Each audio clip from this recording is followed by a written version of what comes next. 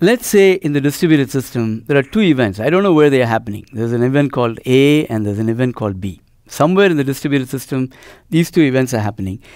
And it so happens when I look at the record of all the timestamp associated with the events, I see that the timestamp associated with A is less than the timestamp associated with B. So I want to make sure that you understand the premise of the problem here. What I'm saying is that the timestamp that is associated with the event A happens to be less than timestamp associated with the event B. That's what I'm observing by looking at sort of a log record of all the events that took place in the system.